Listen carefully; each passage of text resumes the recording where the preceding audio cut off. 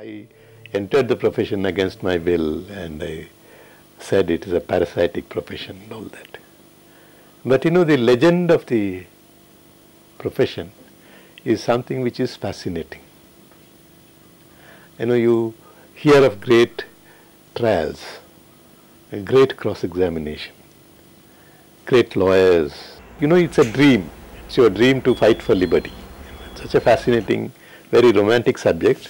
But then I never thought that uh, my boon will be granted with such plenty.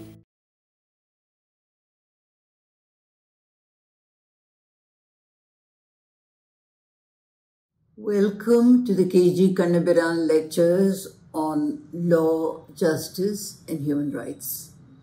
It is now a decade since Kannabiran passed on. He was a man, take him all in all. I shall not look upon his like again. It was Hamlet. Kannabiran was a self-taught and self-made man in a profession where godfathers and family and class meant everything. He rose from humble beginnings to legendary heights through sheer dedication and hard work. A prolific reader, he devoured every piece of literature that came his way as he struggled through school, college, and practice. It was precisely that reading which expanded his mind. What forged him into a legend was a sensitive and brilliant defense of political dissidents and revolutionaries who were hunted down by the state during the emergency. He converted the courtroom into a literary convention, often asking his clients to recite poetry or explain the philosophy for which they were charged to the judge. He prided himself on his radical interpretation of the law, often educating the judges before whom he appeared to interpret the spirit and intent of the Constitution.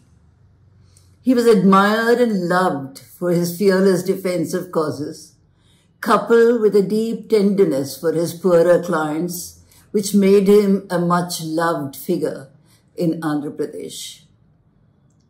He inspired many young lawyers searching for some meaning and radical dimensions in the practice of law. As president of the Andhra Pradesh Civil Liberties Committee and the People's Union of Civil Liberties, he was critical to expanding these movements to powerful institutions of human rights defense. He was involved in human rights work across the country, which was idolized and adored particularly in his home state, Andhra Pradesh, by the poor and disempowered and often resented by rich and powerful people unless they had a case or a cause they needed him to fight. It is now a decade since his death, and given the state of human rights today, his presence is sorely missed. This is an effort to preserve his heritage for the bright young lawyers who are emerging today, a generation that he sincerely believed would restore decency, dignity, and justice to our country. Thank you. The family of KG Kannabiran welcomes you to the KG Kannabiran lectures on law, justice, and human rights. Ten years after his death, we remember his spirit, his resistance, and his constitutional insurgencies in courts and through courts and tribunals in defense of dissent, personal liberty, associational freedoms, and justice, speaking truth to power, calling for judicial accountability and state accountability, especially in the matter of repressive laws, custodial violence, and extrajudicial murders, encounter killings, calling out entrenched practices of discrimination and structural violence, and setting out the basic structures of constitutional rule. We bring together a few of the lawyers and judges who knew him personally and worked with him on cases, campaigns, and tribunals to remember their collaborations with him and reflect on future pathways of this important slice of the history of lawyering for human rights and civil liberties, rooted in the Indian experience. K.G. Kannabiran lived and worked in Andhra Pradesh, in Hyderabad. He traveled across the country appearing in courts of trial and high courts and in people's tribunals and fact-finding missions, from Kashmir, Assam, and Manipur to Tamil Nadu, Chhattisgarh, to Gujarat, to Punjab, Karnataka, and beyond. Within Andhra, every nook and corner, every forest and town bear his footprints. Practically every court in every jurisdiction in the state bears his imprint.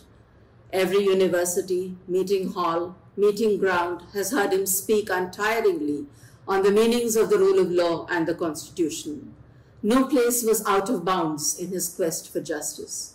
We hope to remember him through the futures of his work and through the work of those who carry it forward in so many different ways. In this specific segment of lectures, we bring together the voices of those who shared his calling.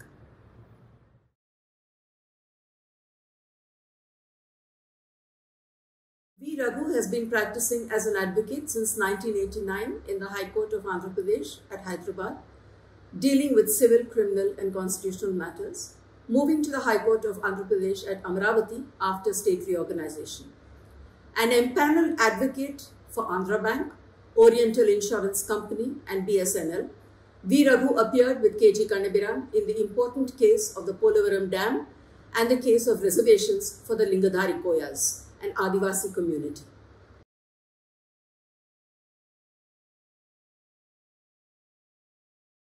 Good morning, everybody. Just uh, to start with, uh, normally after it's uh, 10 years uh, that Kannabiran sir left us, and uh, really I didn't feel that it is uh, 10 years past because the memories with him are still fresh. But a person should be remembered forever. And when you say that a person is to be remembered forever, there must be some reason. And that reason must be a social reason. And in that context, the relevancy of Kannabiran to the society at large forever is that his contribution of effective legal assistance to the poor and vulnerable section of the society. That what is the legal assistance that the poor and vulnerable sections of the society getting when they need such assistance. And in several cases, the poor and vulnerable sections could not represent their cases because of lack of effective legal assistance.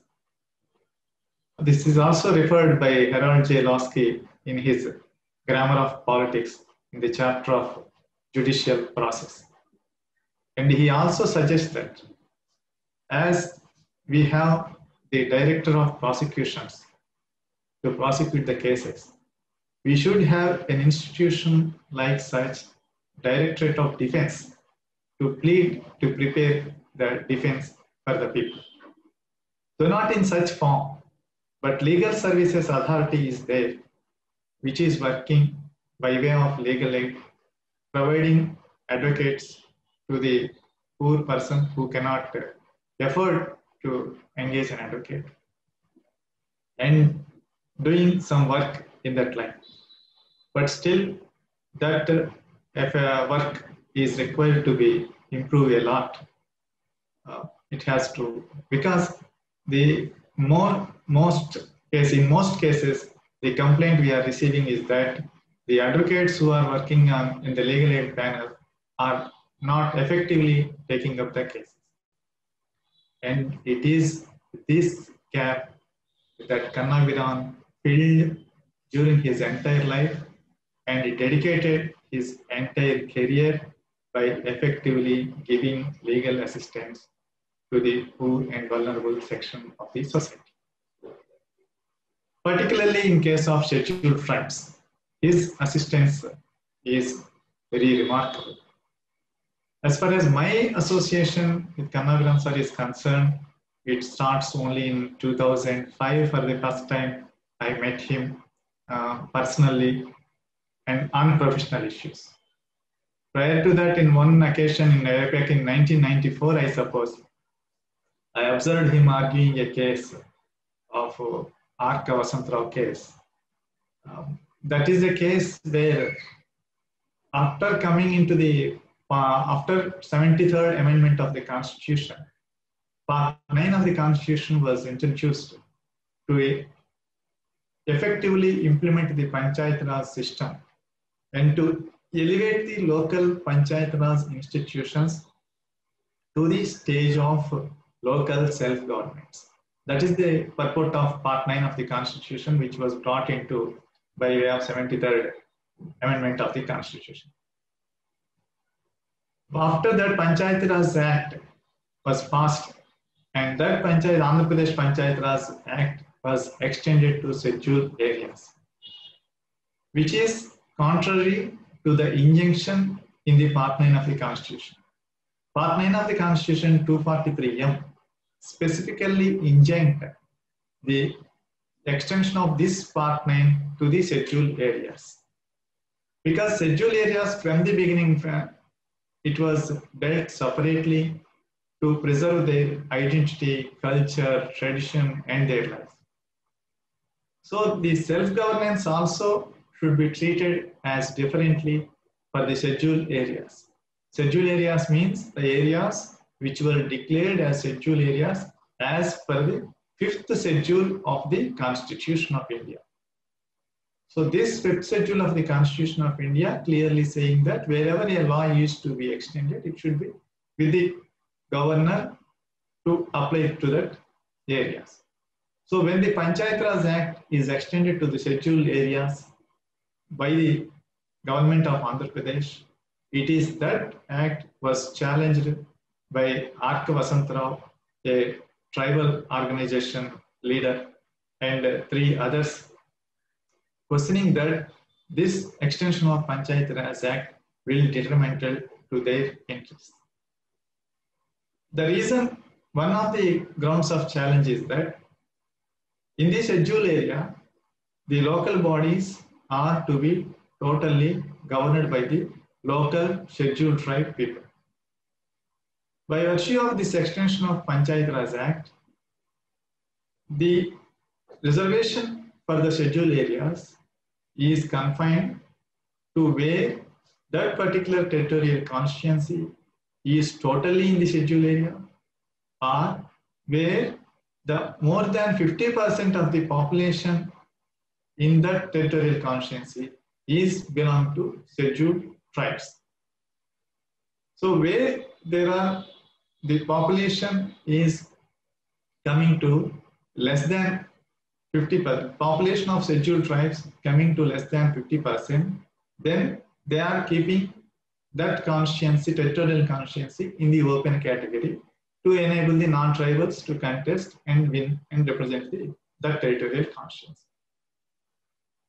So this will ultimately lead because the population in the of non-tribals in the schedule area are day by day increasing and if this is continued by in by passage of time the several constituencies will be become open and several times constituencies territorial constituencies will be open to the non-tribals and that thereby the number of members representing uh, scheduled tribe community will be reduced.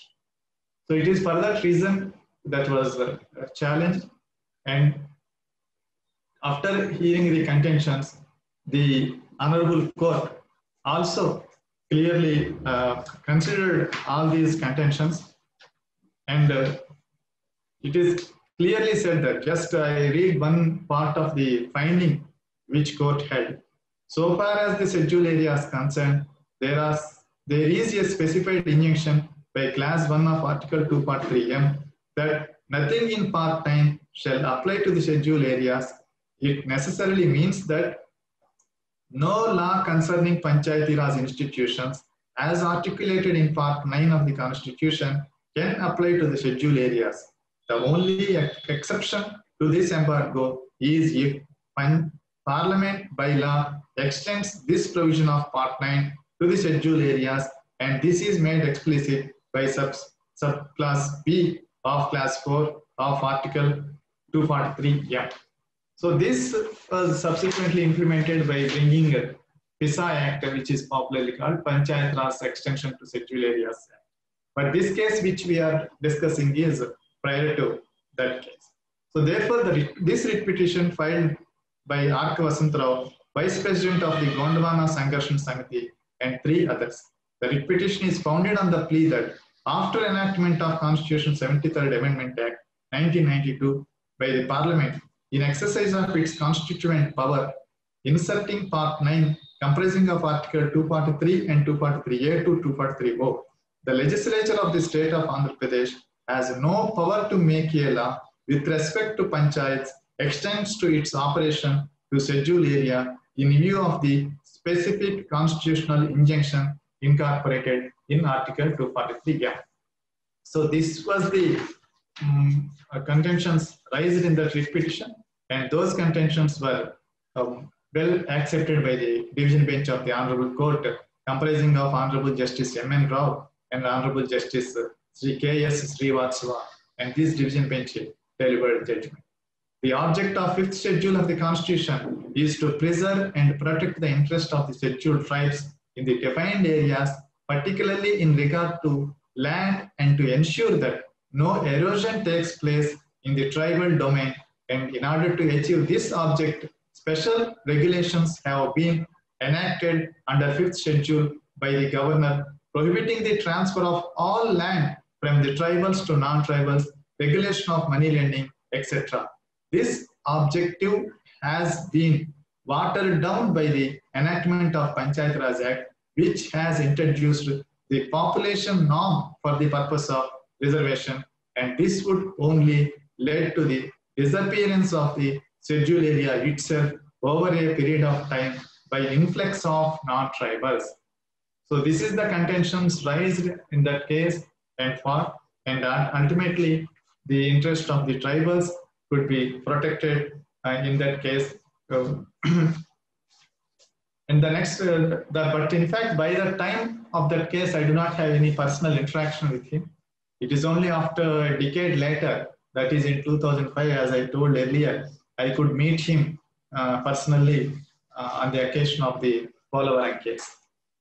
Andhra Pradesh uh, Girijana Sangam filed a petition uh, assailing the action of the then state government in taking up the project of Polavaram, which will result in submergence of 2 lakh, 276 villages and concerning more the consisting of more than 1 lakh population will be submerged by way of Polavaram project.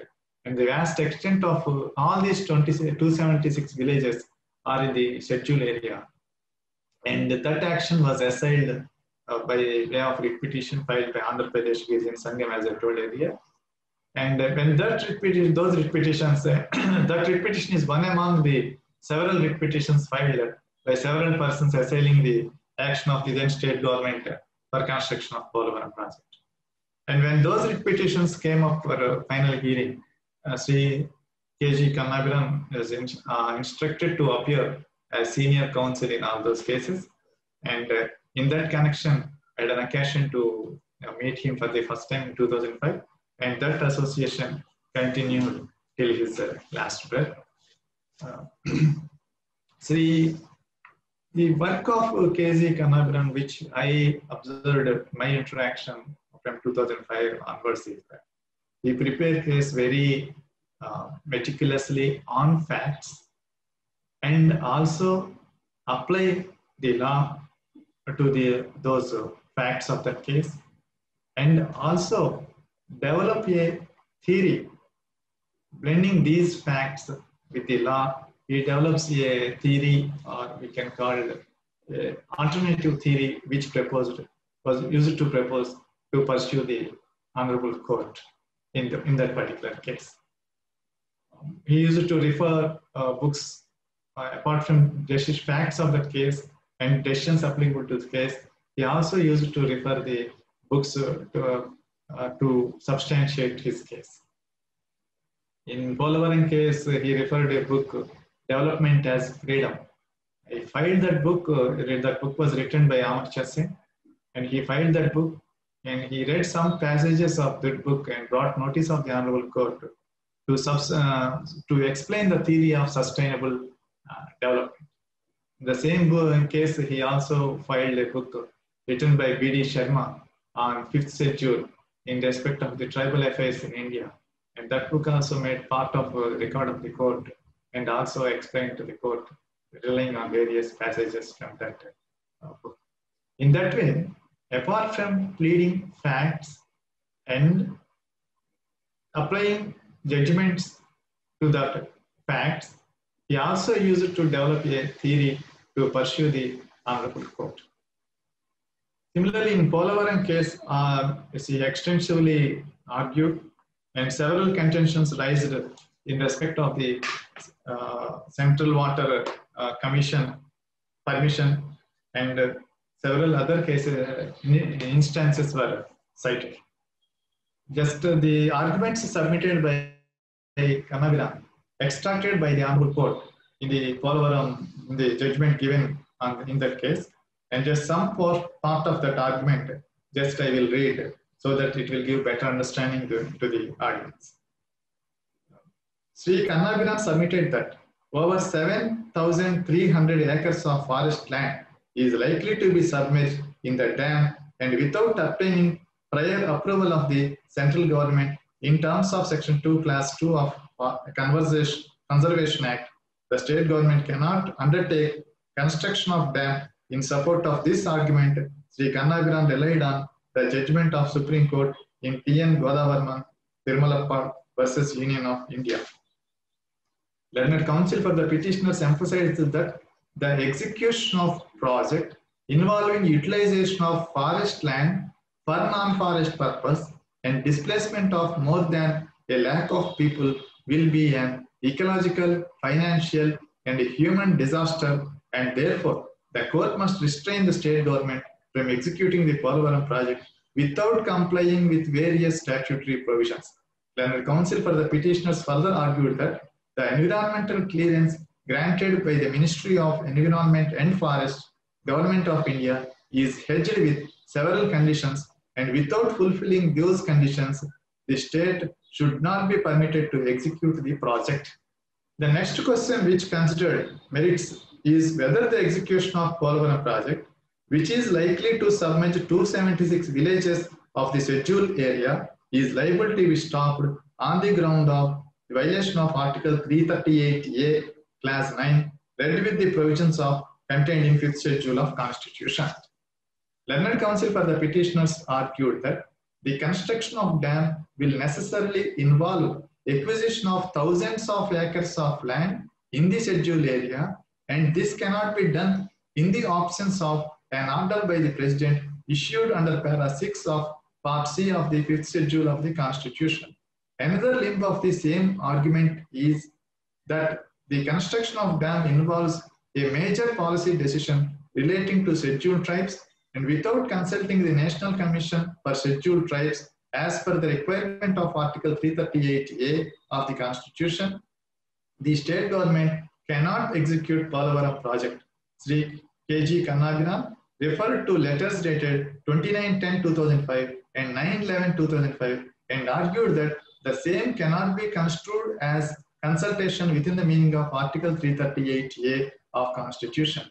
They emphasized that the result of submergence of 276 villages of scheduled area, a large number of scheduled tribes will get affected and therefore the state government is duty bound to effectively consult the National Commission for Scheduled Tribes. Sri Kannabiran then referred to Section 52A of the Government of India Act 1919, Section 91 and 92 of the Government of India Act 1935, the Ganjam and Visakhapatnam Act 1939, the Scheduled Districts Act 1874. The debates which took place in the Constituent Assembly on fifth schedule and argued that utilization of the land forming part of schedule areas for construction of dam or execution of Polavaram project should be treated as acquisition of land and this cannot be done except in accordance with para 6 of part C of the fifth schedule.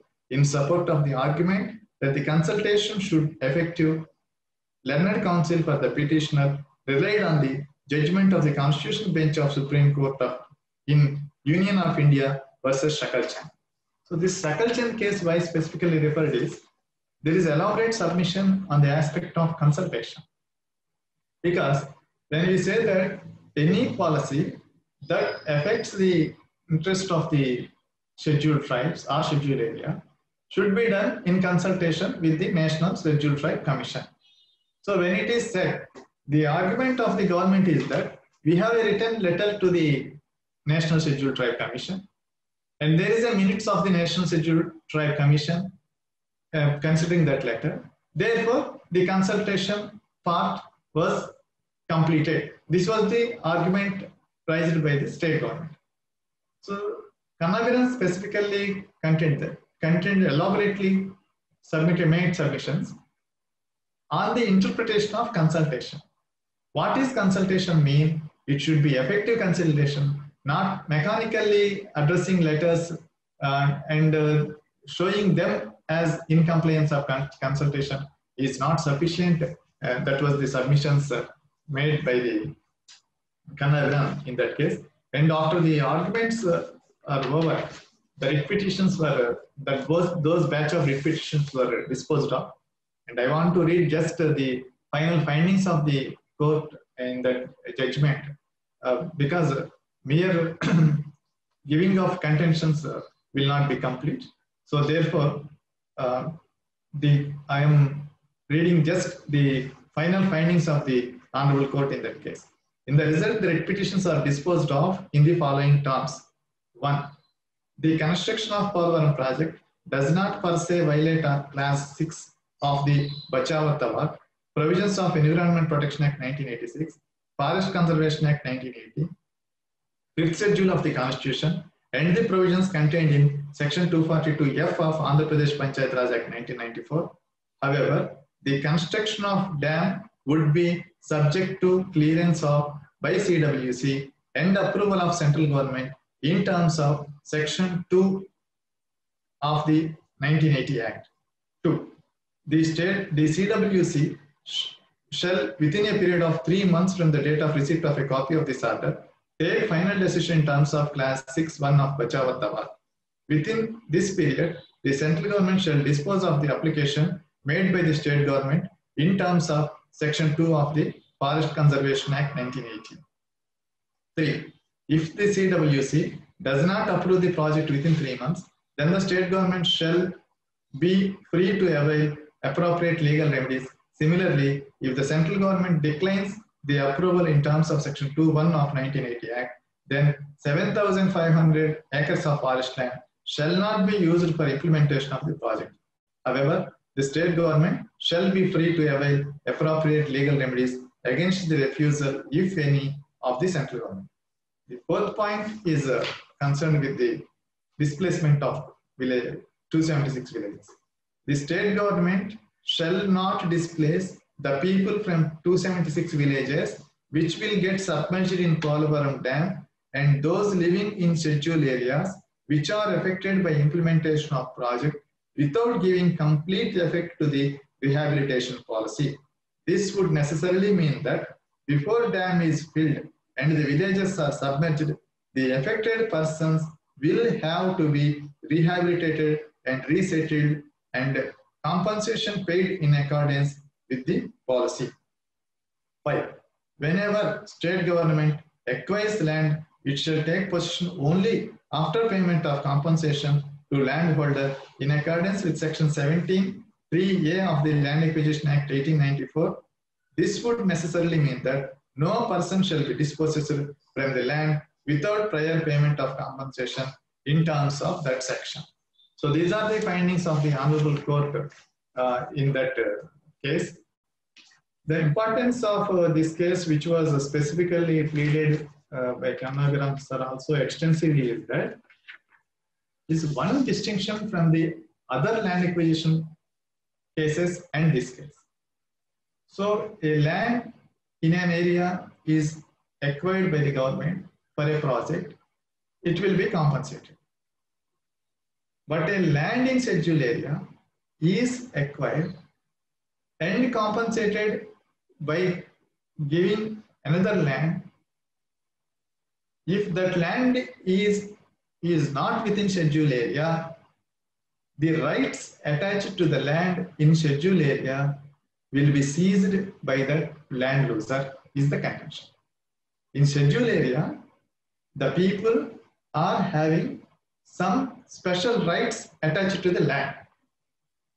So when a particular portion of land in schedule area is acquired and a, another land is given as a compensation to it, and if that land is not within the schedule area, then the rights attached to the land in schedule area will be seized by the landloser in that case. So therefore, the acquisition of land in the schedule area and the acquisition of land in the non-schedule area should be looked in different perspectives for the reason that the acquisition of land in schedule area is having more rights which are conferred by the fifth schedule of the constitution like land transfer regulation which were not available in the non-schedule area.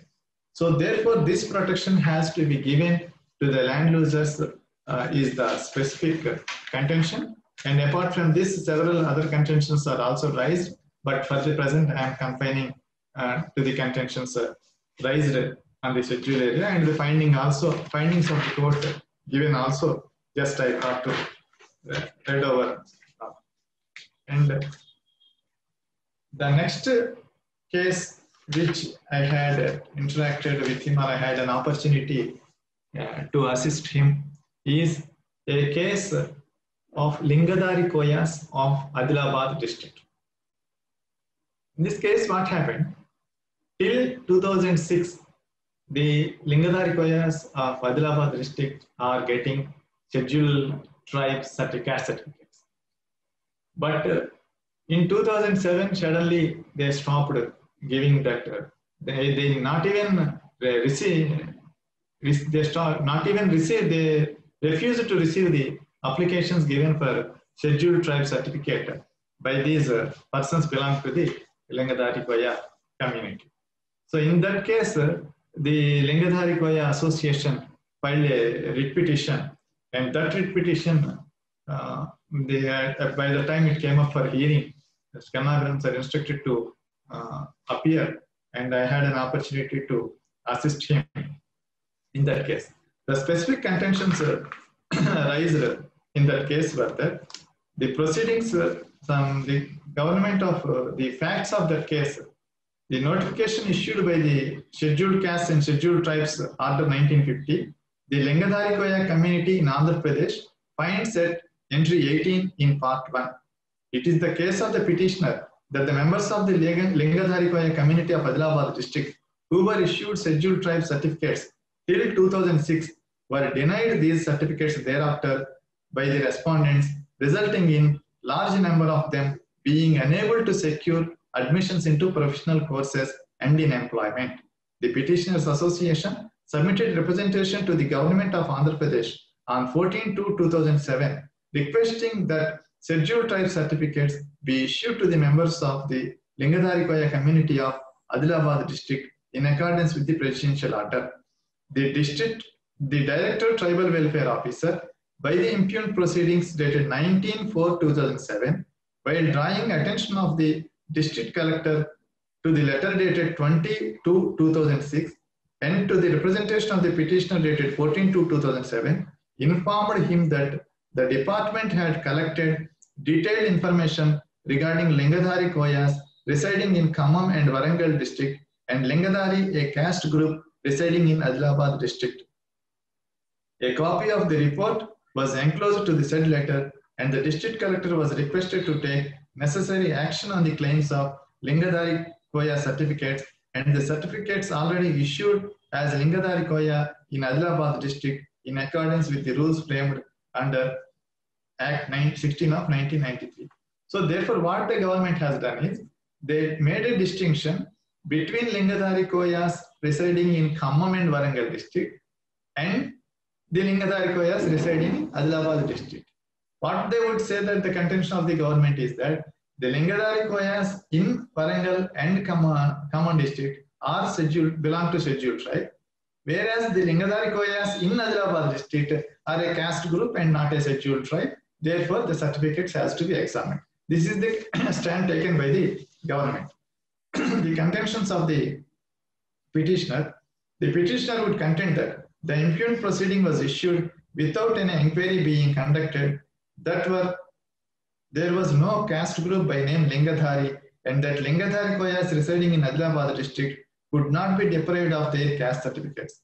They would submit that they had earlier filed writ petition which was disposed of by order dated 8798 directing that and when applications were made received from an individual for grant of scheduled tribe certificate in respect of the Lingadhari Koya community, the same should be considered and disposed of by the authorities concerned in accordance with the law. They would submit that though the AP scheduled caste, scheduled tribes and backward classes issue of community and nativity and date of birth rules 1997 vested power in the local mandal revenue officers to issue caste certificates they were not exercising the powers conferred on them to issue caste certificates in favor of the members of Lingadhari Koya community of Adilabad district. By way of an illustration, they would submit that several persons who were applied for link, uh, scheduled caste tribe certificates, the authorities local were not even receiving those applications. According to the petitioners, there were 125 families belong to Lingadhari Koya community in nine mandals of Adilabad district who were aggrieved by the non-issuance of scheduled tribe certificates and as they have common grievance, they have invoked jurisdiction of the court by way of the present petition. In this case, uh, the book written by Haimendorf and Urmila Pingle was also uh, relied on uh, by the senior counsel. And he also placed that book on record and that was also considered by the uh, court. In fact, the arguments uh, made by Sri K.G. Kannabiran were extracted by the Honorable Court Division Bench comprising of uh, Honorable, the then Honorable Chief Justice Sri Anil R. Dave, the Chief Justice of Honorable uh, uh, High Court of AP, and Honorable Justice Ramesh Ranganathan in that judgment are as Sri K.G. Kannabiran, learned senior counsel, appearing on behalf of the petitioner, would submit that the ethnographic report enclosed to the impugned proceedings titled Report on Social Status of Claimants of Lingadhari Koya Community living in Andhra Pradesh was prepared without any one of the 125 families of Lingadhari Koya residing in Adilabad district being given opportunity of heard and the impugned proceedings and the ethnographic report should be vitiated for the violation of the principles of natural justice. After considering the arguments of the senior counsel, the Honorable Court gave, uh, gave finding that the impugned proceeding stated 1904-2007, which is said to make a distinction between Lingadhari Koyas of Khammam and Warangal district and the Lingadhari Koyas of Adilabad district, must therefore be and is accordingly quashed. The respondents shall receive the applications submitted by members of the Petitioner Association and others similarly situated and consider their case for grant of scheduled tribe certificates in accordance with law without placing reliance on the ethnographic report enclosed to the impugned order within a period of three months from the date of receipt of the applications. So this is the case uh, on which uh, pertaining to the issuance of caste certificate. So thus, in recounting the association with uh, Sri K.G. Kannabiran, detailed discussion of these cases, particularly these two cases of Polavaram project and the Lingadhari Koya case, uh, pertaining to the rights of the scheduled tribes are very much relevant. The judgment in Polavaram case was extensively considered and uh, considered by the Honorable Division Bench at that um, the then Honorable Chief Justice Sri Honorable Sri G.S. Singhvi and Honorable Sri Justice R. Subhash.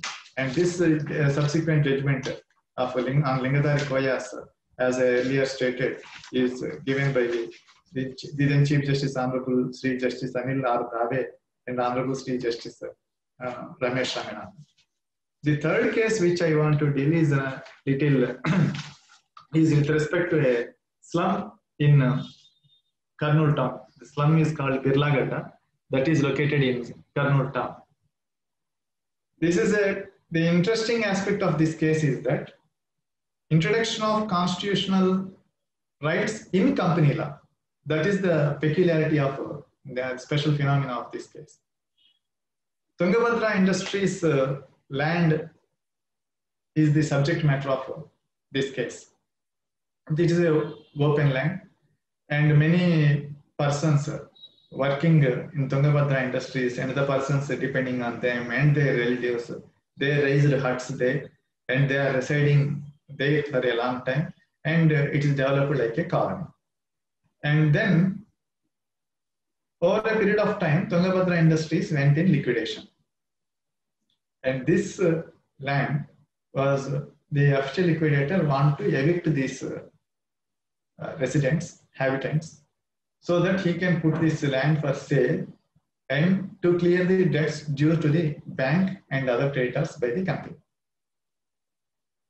So for that purpose, he moved an the liquidator moved an application in the company court, the Honorable High Court.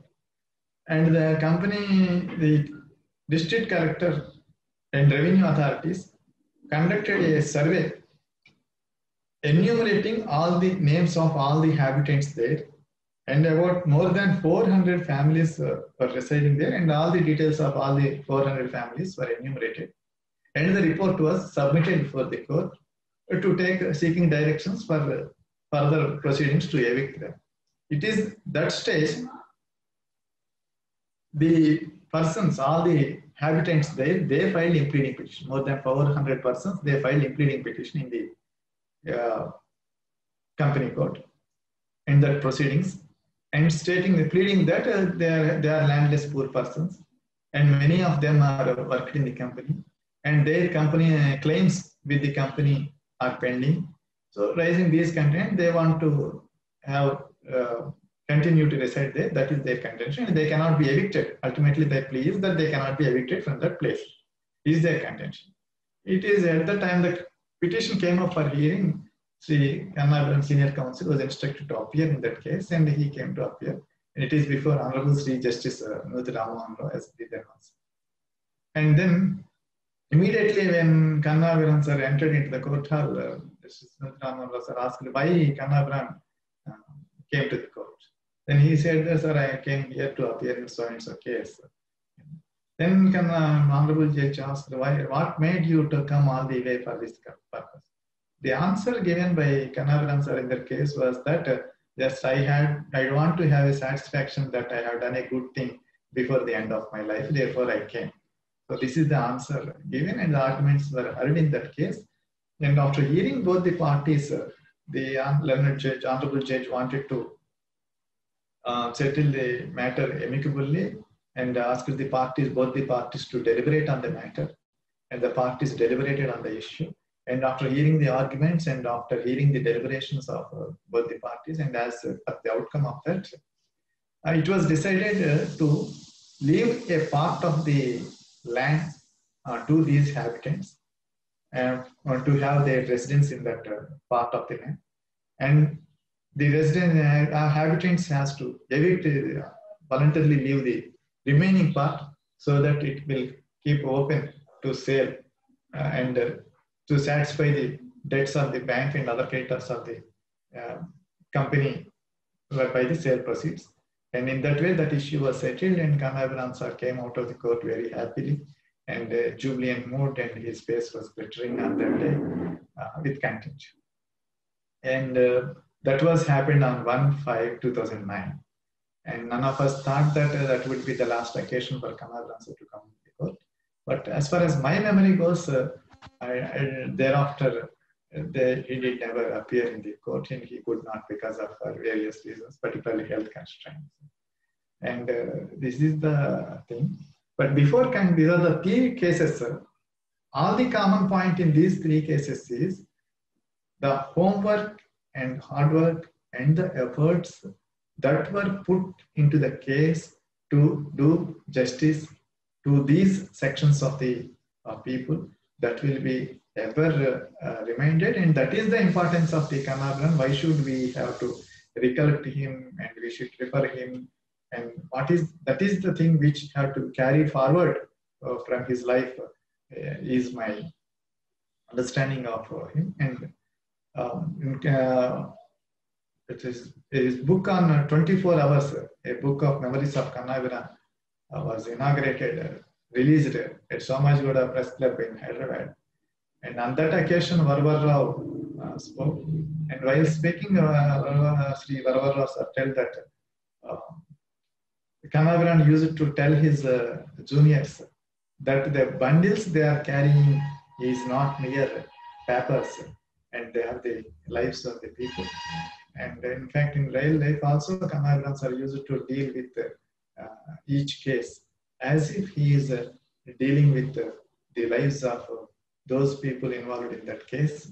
And he used to put all his efforts meticulously uh, to get to in the interest to protect the interest of those people. And uh, this must be uh, we always should uh, keep remember, and we should uh, carry forward this uh, to our future generations also. And with this, I am thanking one and all for giving me this opportunity to pay uh, tribute uh, to the Learned Senior Counsel, Sri K.G. Kannabiran. Thank you.